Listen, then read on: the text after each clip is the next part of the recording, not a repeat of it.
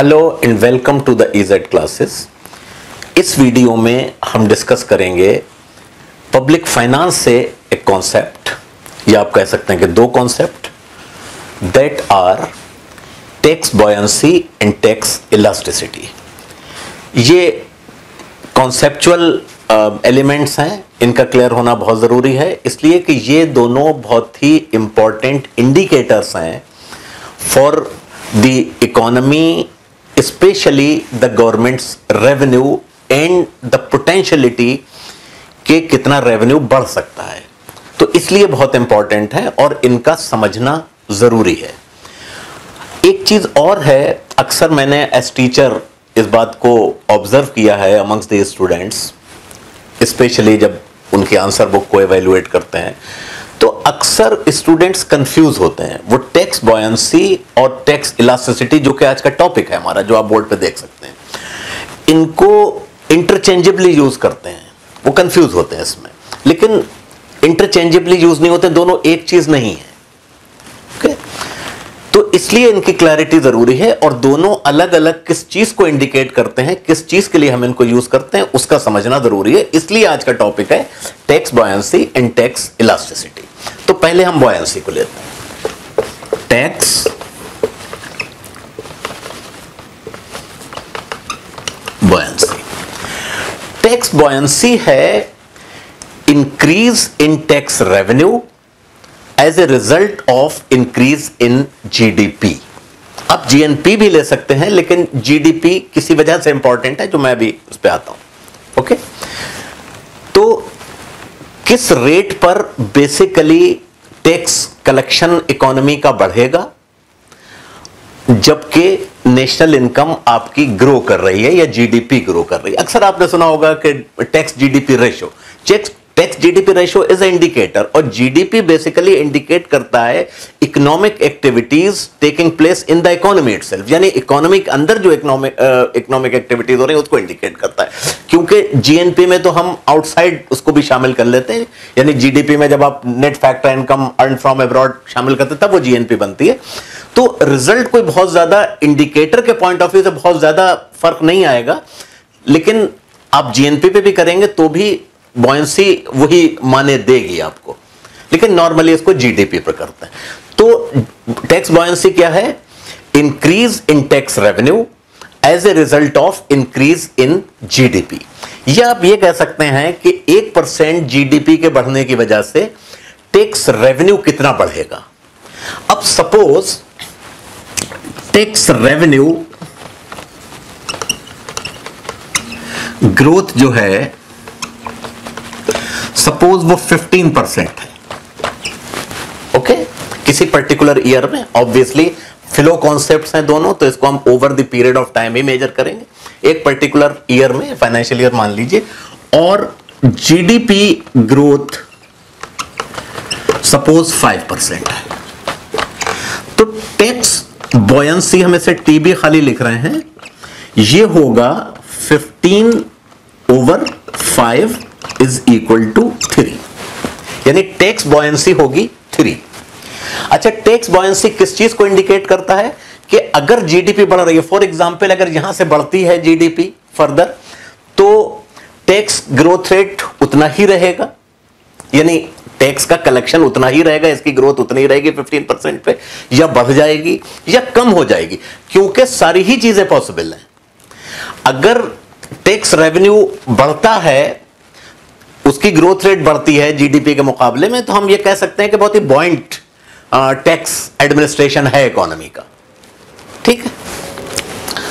लेकिन इसमें एक प्रॉब्लम है, और वो प्रॉब्लम यह है कि जब हम टैक्स बॉयंसी को कैलकुलेट करते हैं तो वो हमें इस बात का अंदाज़ा नहीं होता उसमें कि इसमें कितना एलिमेंट जो है वो नेचुरली बढ़ रहा है, जबकि जीडीपी बढ़ रही है, और कितना एलिमेंट इस बात का है, यानी कितनी बढ़त कितनी बढ़त नेचुरली है जीडीपी की वजह से, और कितनी बढ़त इसमें जो है, या कितनी इंक्रीज इसमें है, कुछ डिस्क्रिशनरी मेजर्स की वजह से जो कि गवर्नमेंट लेती है। वो डिस्क्रिशनरी मेजर्स क्या है? टैक्स रेट है। इन टैक्स रेट को इंक्रीज करेंगे, तब भी रेवेन्यू बढ़ सकता है। कुछ फ़िज़िकल कंसेशन विड्रॉ कर लिए, उसकी वजह से भी बढ़ सकता है। जो पहले आप दे रहे थे, कुछ नई नए टैक्सेस लगा दिए जो पहले नहीं लगते थे, उससे भी बढ़ सकता है। बल्कि अच्छा होगा कि मैं इसको लिख दूँ। ओके कौन कौन सी डिस्क्रिशनरी मेजर्स हैं जिसकी वजह से डिस्क्रिशनरी मेजर्स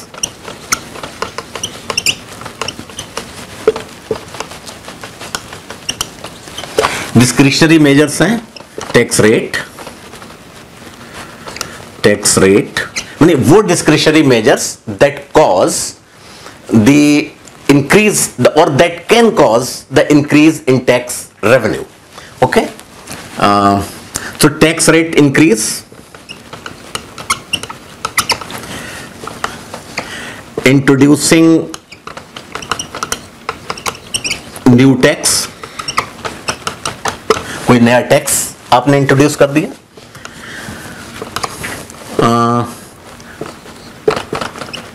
विद ड्रॉइंग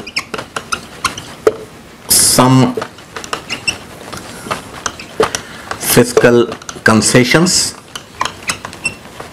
कुछ फ़िज़िकल कंसेशन जो पहले दे रहे थे, अब आप नहीं दे रहे? तो ज़ाहिर है उन लोगों को भी टैक्स देना पड़ेगा। वो चीज़ें हो सकती थी। Bringing bringing more people into TextNet अच्छा इसमें दो चीज़ें हैं। जिसको समझना पड़ेगा। एक तो जब आप टैक्स रेट को बढ़ाएँगे या कुछ करेंगे, या कुछ कंसेशन विड्रॉ करेंगे तो इसकी पॉसिबिलिटी है कि कुछ और लोग टैक्स नेट में टैक्स नेट में आ जाएँ। तो ये अलग से फिर पॉइंट नहीं बनता, उसके हिसाब से देखेंगे, इसकी वजह से हो रहा है। लेकिन ये भी हो सकता है कि आपके वो सारी चीज़ें हो रही, लेकिन फिर भी टैक्स पेयर्स बढ़े। वो होता है, वो रिफ्लेक्ट करता है आपके एफिशिएंसी ऑफ़ टैक्स एडमिनिस्ट्रेशन और टैक्स एडमिनिस्ट्रेशन की एफिशिएंसी भी किसी ना किसी गवर्नमेंट के मेजर्स की वजह से आएगी। वो नेचुरल तो है नहीं कि जीडीपी के बढ़ने से एफिशिएंसी भी आ रही है। ऐसा नहीं है। तो ये सारी चीज़ें हैं जिसकी वजह से बढ़ सकता है जो डिस्क्रिशनरी मेजर्स हैं। तो जब आप टैक्स बॉयंसी को कैलकुलेट करते हैं तो इसमें इन डिस्क्रिशनरी मेजर्स को न्यूट्रलाइज नहीं करते हैं। तो हम ये पता नहीं लगा सकते कि कितनी इंक्रीज जो है वो डिस्क्रिशनरी मेजर्स की वजह से है और कितनी इंक्रीज जीडीपी के बढ़ने की वजह से है। इसकी एग्जांपल आप जीडीपी से या नेशनल इनकम से आप ले लें कि national income again flow variable है, जो साल में आप कैलकुलेट करते हैं तो नेशनल इनकम को आप कांस्टेंट प्राइस पर भी कैलकुलेट करते हैं और करंट प्राइस पर भी कैलकुलेट करते हैं। कांस्टेंट प्राइस पे कैलकुलेट करने का मतलब यह है कि हर साल की जीडीपी को एक बेस ईयर के ऊपर आपने कैलकुलेट किया। यानी बेस ईयर 2010-11 हो सकता है, इसके ऊपर आने वाले हर साल की इनकम को उसी पे कैलकुलेट करें। तो जो भी रिफ्लेक्शन होगा, वो होगा इंक्रीज इन रियल जीडीपी लेकिन अगर हर साल की इनकम को उसी साल के प्राइस पर कैलकुलेट करेंगे तो उसमें से आपको यह मुश्किल होगा। मुश्किल क्या है? नामुमकिन होगा ये पता लगाना। मतलब पता लगाने के तरीके हो सकते हैं, लेकिन खाली वो फिगर आपको ये नहीं बताएगी कि इस ग्रोथ में कितना रोल प्राइस इंक्रीज का है और कितना रोल जो है वो रियल आउटपुट की इंक्रीज का है। That is output of goods and services तो इसलिए टैक्स बॉयंसी हमें बहुत कुछ इंडिकेट करती है कि इकोनॉमिक टैक्स सिस्टम जो है कितना रोबस्ट है इकोनॉमी के अंदर। और इस पर्टिकुलर लेवल ऑफ़ इनकम के ऊपर कितनी पोटेंशियलिटी है उसमें के चीज़ों को और इंप्रूव um, कर सकें। बहुत सारी चीज़ें इंडिकेट होती हैं उससे। लेकिन ये नेवर दिलेस हम नहीं पता लगा सकते कि खाली जीडीपी के बढ़ने की वजह से टैक्स रेट कितना सॉरी टैक्स कलेक्शन कितना बढ़ रहा है टैक्स रेवेन्यू कितना बढ़ रहा है या और कितना उसकी वजह से बढ़ रहा है। उसके लिए हमारे पास दूसरा कॉन्सेप्ट है, जिसके ऊपर अब हम आते हैं, और दैट इज़ टैक्स इलास्टिसिटी ठीक है? आफ्टर टैक्स इलास्टिसिटी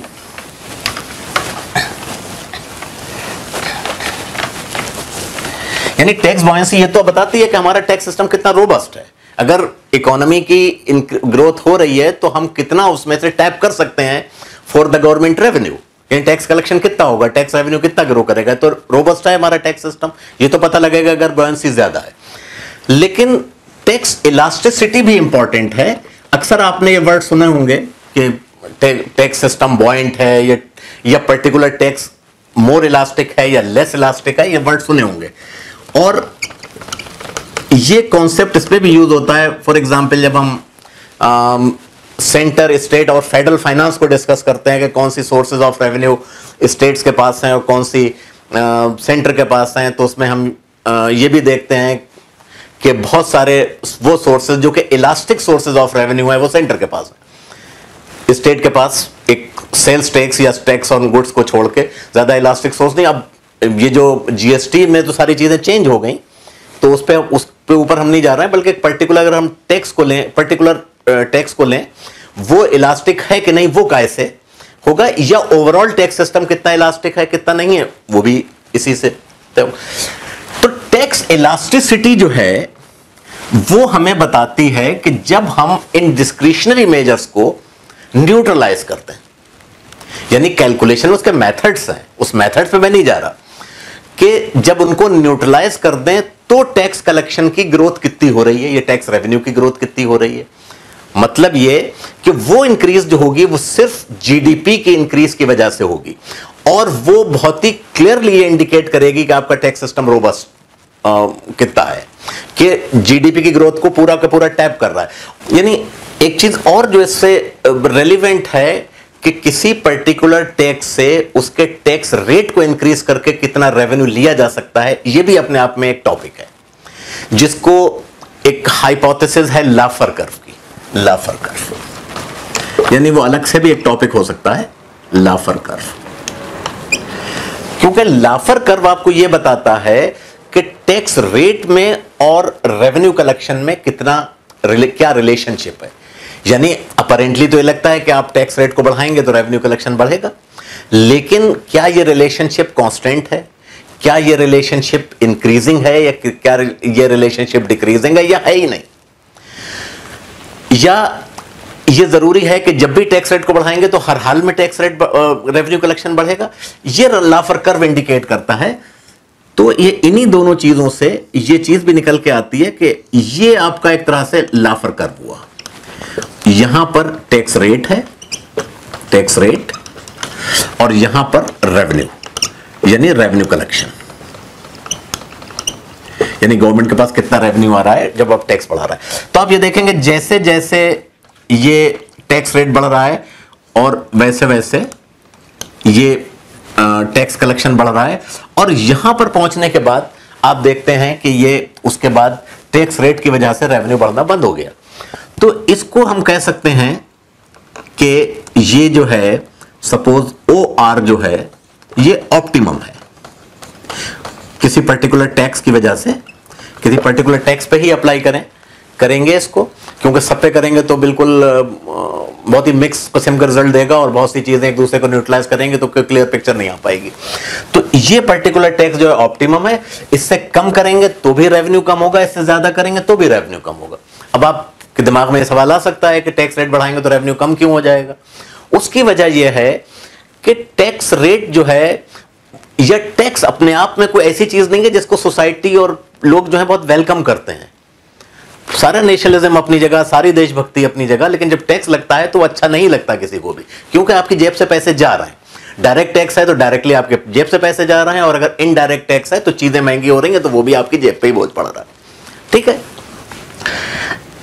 इसलिए यह पॉसिबल है कि जब टैक्स रेट एक लिमिट के बाद बढ़े तो ये वर्क एफर्ट को अफेक्ट करे। यानी उन एक्टिविटीज़ को अफेक्ट करे जो एक्टिविटीज़ जो है इनकम को जनरेट कर रही हैं for example maximum marginal rate एक चीज़ होती है टैक्स का इनकम टैक्स का पर्सनल इनकम टैक्स का। वो यह है कि जो हाईएस्ट स्लैब है इनकम टैक्स रेट में जो भी आ, किसी कंट्री का आ, रेट है हाईएस्ट स्लैब उसके उप, वो उसके ऊपर हाईएस्ट रेट होता है। आजकल इंडिया में 30 परसेंट है कोई सरचार्ज अलग है उसके अलावा। तो 30 परसेंट है। अब 30 परसेंट के बाद अगर कुछ और लगाएँगे तो हो सकता है मैं सोचूं कि भाई मैं अगर कमाऊँगा तो 30 परसेंट मैं दे दूँगा। तो हो सकता है कि मैं कम कमाऊं मैं आराम करूँ क्योंकि जो आप अपना टाइम है आपके पास अवेलेबल एक दिन में 24 घंटे ही तो है आपके पास। दिन रात मिला के चौबीस घंटे हैं उसको आप काम में लगा सकते हैं। और उसको आप लेजर में लगा सकते हैं। लेजर का मतलब यह है कि वो चीज़ें उन चीज़ों पर खर्च कर रहे हैं जो चीज़ें इनकम आपको नहीं दे रही हैं। उसमें आपका सोना भी शामिल है, उसका फैमिली के साथ वक्त गुजारना भी शामिल है, उसमें पिकनिक भी शामिल है, उसमें रेस्टोरेंट में खाना खाना भी शामिल है, दोस्तों के साथ गपशप करना भी शामिल है। ये सारी चीज़ें लेजर हैं। इसकी वजह से इनकम नहीं बढ़ रही है। तो ये हो सकता है जब टैक्स रेट ज़्यादा हो तो इंसान ये सोचने लगे और सोचने लगते हैं कि हम इतना काम करने की ज़रूरत नहीं है, जितनी इनकम है, उतनी हमारे लिए काफ़ी है। तो वो पोटेंशियल इनकम जनरेट हो ही नहीं पाई, जो कि हो सकती थी। तो टैक्स रेट नहीं आ गया, इंसान की वर्क एफर्ट कम हो गई। आपको यकीन नहीं आएगा at one point of time in India maximum marginal rate of tax was 97.5 percent it was some time around mid mid seventies 97.5 percent can you imagine मतलब ये, इसको कहते हैं कन्फिस्केटरी टैक्स रेट यानी हर एक रुपया जो आप अर्न कर रहे हो, उस लेवल ऑफ़ इनकम के बाद। उस वक्त शायद ये दो लाख थी, जो उस वक्त के हिसाब से ज़्यादा अमाउंट था। आज तो दो लाख इतना नहीं लगता। तो यानी उसके ऊपर जो आप हर एक रुपया जो आप अर्न करते हो, उसमें से सत्तानवे पॉइंट फाइव पैसे, साढ़े सत्तानवे पैसे जो है सरकार को देते हो और ढाई पैसा खुद रखते हो। तो आदमी ये सोच सकता है कि हम इतना काम करने की ज़रूरत नहीं, हम अपने लेजर पे खर्च करेंगे। एक काम तो ये हो सकता है कि वो इनकम जनरेट नहीं हुई, क्योंकि वर्क एफर्ट जो है, वो एडवर्सली अफेक्ट हुआ टैक्स के रेट के बढ़ने की वजह से। तो जब वो इनकम जनरेट नहीं हुई तो टैक्स कलेक्शन नहीं होगा टैक्स रेवेन्यू नहीं होगा जेनवनली नहीं होगा। दूसरी चीज़ है इसमें परवर्स इंसेंटिव यानी टैक्स इवेट करने का इंसेंटिव हमारे पास बहुत ज़्यादा है। यानी अगर हम टैक्स किसी तरह से बचा लें, अब टैक्स बचा, टैक्स बचाना क्या? हम अपने टैक्स इनकम को छुपा लें, उससे टैक्स बचेगा। तो अगर हमने सौ रुपए बचा लिए तो हमने इसका मतलब 97.5 बचा लिए। अगर हमने ये सौ रुपए टैक्सेशन अथॉरिटी से छुपा लिए तो ये परवर्स इंसेंटिव है बेसिकली यानी बेईमानी करने का आप इंसेंटिव दे रहा हो। तो ये कुछ वजह हैं जिसकी वजह से ये एक पर्टिकुलर रेट ऑफ़ टैक्स के बाद टैक्स रेट इनफैक्ट घटना शुरू हो जाता है। ठीक है? तो ये इंपॉर्टेंट है हमारे टैक्स एडमिनिस्ट्रेशन में, ये कंसिडरेशन तो रेवेन्यू इलास्टिसिटी और टैक्स बॉयंसी जब इन दोनों को आप कंपेयर करते हो तो आप ये भी पता लगा सकते हो कि हमारे पास डिस्क्रिशनरी मेजर्स के अलावा ये सिचुएशन है दैट इज़ टैक्स बॉयंसी ये है। अब हम देखेंगे कि किस रेट में, किस रेट को बढ़ाने से और ज़्यादा बढ़ सकता है। यानी टैक्स सॉरी रेवेन्यू इलास्टिसिटी जब आपने निकाली टैक्स इलास्टिसिटी आपने निकाली तो पता चला ये बिल्कुल जीएनपी की वजह से है। और टैक्स बॉयंसी से कंपेयर किया तो बाकी सारी चीज़ें जो हैं जो है वो tax collection sorry tax rates की वजह से है, या दूसरे कंसेशन दूसरे फ़िज़िकल डिस्क्रिशनरी मेजर्स की वजह से अब आप ये भी देख सकते हो कि हमारे कौन से टैक्सेस जो हैं, जिनके ऊपर लाफर कर्व अप्लाई हो रहा है। यानी उनका हम टैक्स रेट बढ़ाएँगे तो रेवेन्यू बढ़ेगा, किनका बढ़ाएँगे तो हो सकता है कम हो जाए। तो आपका टैक्स एडमिनिस्ट्रेशन बेटर हो सकता है। टैक्स मैनेजमेंट बेटर हो सकता है।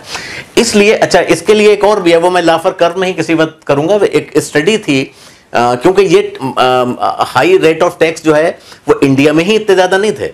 ये थ्रू आउट क्योंकि ये एक मानना था कि इनकम टैक्स रेट क्योंकि वो प्रोग्रेसिव बना सकते हैं उसको प्रोग्रेसिव रेट प्रोग्रेसिव टैक्स का मतलब ये कि ज़्यादा इनकम को ज़्यादा रेट पर टैक्स करना।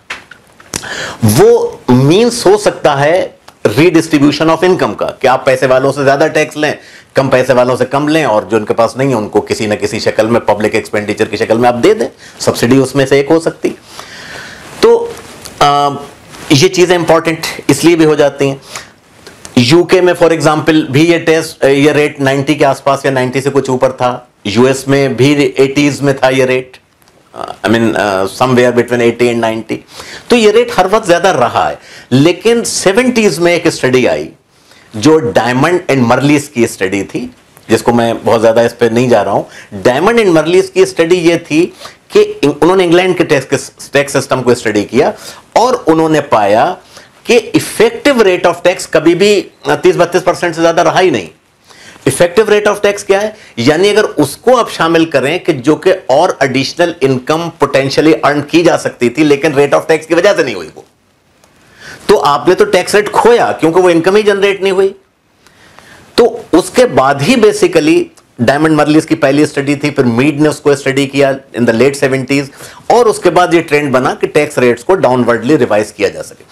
तो जब हम इन चीज़ों को देखते हैं और हमें यह पता लगाना हो कि कौन से रेट्स ऐसे, कौन से टैक्सेस ऐसे हैं कि जिनको हम रेट को मैनिपुलेट करके टेक और बढ़ा सकते हैं और किन पे लाफर कर्व अप्लाई हो रहा है, किन पे नहीं हो रहा है, कौन सा रेट फॉर एग्जांपल यहाँ पर है, इसमें पूरी पोटेंशियलिटी है कि बढ़ जाए, कौन सा रेट कौन सा टैक्स जो है जिसमें रेट यहाँ चल रहा है, इसको हम डाउनवर्डली रिवाइज कर दें। तो ये सारी चीज़ें आप उससे वर्कआउट कर सकते हैं। तो लाफर कर्व से की हाइपोथेसिस से भी आप फ़ायदा जब भी उठा सकते हो, जब आपको यह मालूम हो कि टैक्स बॉयंसी क्या है और टैक्स इलास्टिसिटी क्या है। तो आई थिंक ये सफिशिएंट है इन कॉन्सेप्ट को समझने के लिए और इन कॉन्सेप्ट को अप्लाई करने के लिए। अब ये कैसे कैलकुलेट होगी, कैसे न्यूट्रलाइज करेंगे, ये एक अलग पूरा टॉपिक है। ठीक है? तो thank you very much for patiently listening to this lecture